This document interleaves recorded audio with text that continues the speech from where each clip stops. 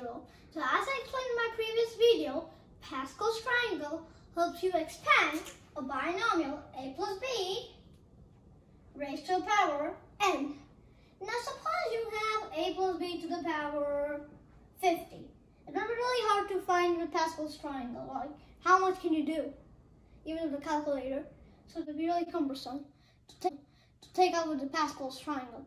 That's why you use the binomial theorem. So, binomial theorem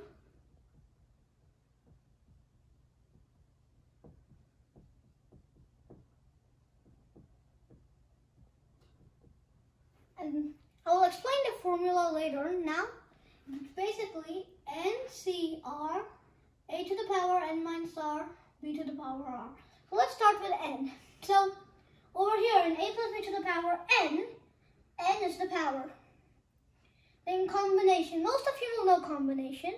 It is n factorial over n factorial multiplied by n minus r to the whole factorial.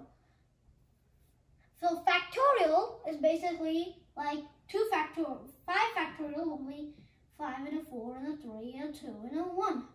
8 factorial is 8 and a 7 and a 6 all the way until into 1.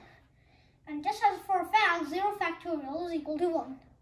So, now, the r. So r, so if you take the second term, r will be 1. Eighth term, r will be 7. So R is the number one less than a term. If you were like, like the 80th term, R would be 79. So now A to the power n minus R, that should be pretty simple. And B to the power R. Well, mm, okay, so now, so now I just explain you the combinations, the factorials, and the binomial theorem. So now let's move on towards the, a few examples. So if you take the first the general expression, a plus b to the power n is equal to nc0, a to the power n, b to the power 0, then plus nc1, a to the power n minus 1, b to the power 1, plus nc2 a to the power n minus 2, b to the power 2, and so on until you get to n, c, and the last one will be n, c, n, a to the power 0, b to the power n. So now, let's suppose take 4. So first, your first term will be, now I'm only talking about the coefficients. So first term will be 4c0, which is equal to 1. Then next will be 4C1. It will be equal to 4. Then will be 4C2, which is equal to 6. Then will be 4C3, which is equal to 4. And then 4C4, which is equal to 1. Now, if you if you guys want to try it out, then you can try it out on your own. But you can use that for any number. So, okay, so now let's see the binomial theorem in action. So, I'm going to use the same example for 4 to find a plus b to the power 4. So, that will be, here's the here, nc0. So that's 4c0, a to the power 4, b to the power 0, plus 4c1, a to the power 3, b to the power 1, plus 4c2, a to the power 2, b to the power 2, plus 4c3, a1, b3, finally plus 4c4, b to the power a to the power 0, b to the power 4. Now let's the probability. I'm, not, I'm pretty sure you know that n to nc0 is always equal to 1. So that makes the coefficient 1, a4, and you don't need to write b0, this is 1. Plus, now to find 4c1. So, okay, now we're going to find 4c1. So now, that will be 4 factorial over, r is 1 over here, so 1 factorial, sorry, 1 factorial. In a bracket, 4 minus 1 is 3 factorial. So now, to make it simpler, you just like can cancel. So 4 factorial is 4 into 3 factorial, or 1, 1 factorial is 1, multiplied by 3 factorial. You can cancel this out. 4 over 1, which makes it 4. So now we found this as, so this is this.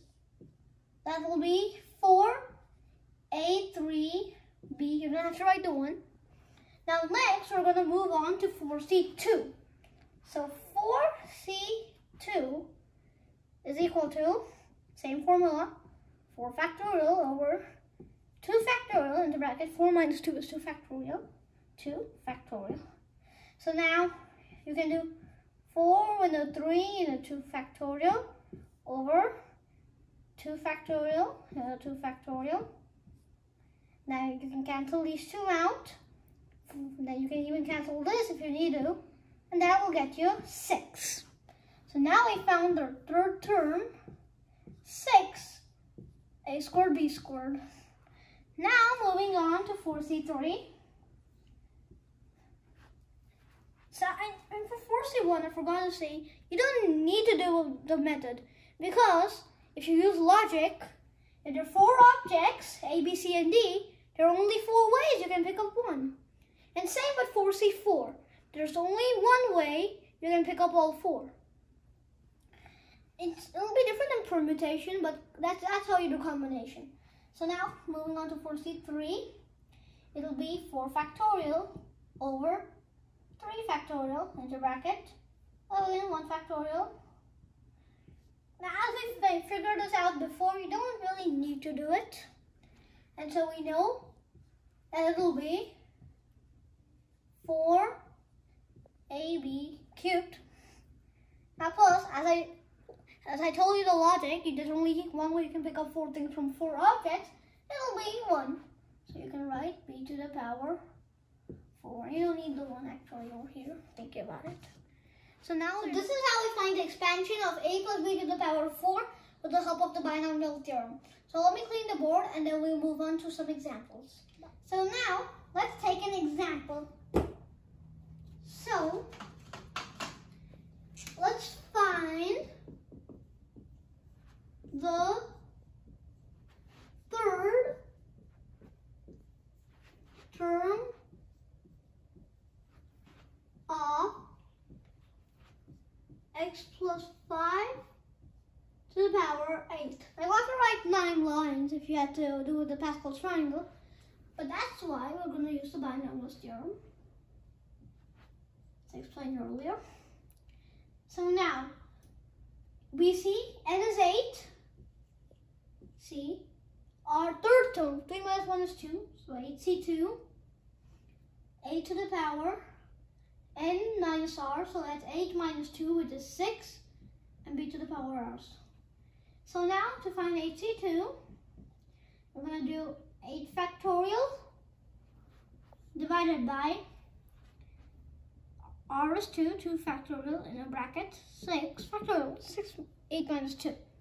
So now, we can write this as 8 into 7 into 6 factorial over 2, 2 factorial is 2, multiplied by 6 factorial. Cancel these out, simplify, and you will get 28. But hold on, that's not it. We forgot the 5 over here. So now, we have to, so now, let's substitute the values. So we can write 28, a to the sixth, b squared. So now we know a is equal to x, b is equal to 5. And I said 28, x to the power 6, and 5 squared is 25. You know I multiply, this basically means a multiply. So now 28 to 25 is 700, x, x to the sixth. So our answer is 700 x to the power 6. So let's take one more example. So let's find the middle term of 3x minus 2 to the power of 6. So now, we so in order to find the middle term, as I explained in my last video, it's n plus 1 with n being the power. So there's seven terms, and we all know that fourth term will be the middle. So now we're going to find the fourth term, which r will be equal to 3. So you'll take 6, now first let's list the formula. And we'll take, sorry, we'll take 6, c, 3, a to the power, 6 minus 3, 3, and b to the power 3. So now, let, me just tell you a thing. The place where the powers of a or b are the same or have a difference of 1 is the term with the highest coefficient. So here's the same, so coefficient is going to be the highest in the whole expansion. So, now, 63 will be 6 factorial divided by 3 factorial and 6 minus 3 is 3 factorial. So now we can do 6 into 5 into 4 into 3 factorial upon 3 factorial into 3 factorial. Cancel these things out. So then you have 6 into 5 into 4. 3 factorial is 6. Cancel, cancel. You get 20. So now you'll have 20 a to the power 3, b to the power 3. Well, hold on, that is not right. We need to now substitute the values. So now, a is equal to 3x, and b is equal to negative 2. Don't forget it's negative. It's really important. So, that will do 20 multiplied by 3x to the power 3 is 27x cubed. And minus 2 to the power 3 is negative 8. So you have negative 160 multiplied by 27x cubed. Negative 160 into 27 is 4,320. So you have negative 4,320 x cubed. That is our answer. Thank you. So, we overcome the limitation of the Pascal's triangle by using the binomial theorem. If you found this video helpful, please make sure to subscribe. Bye. Hello!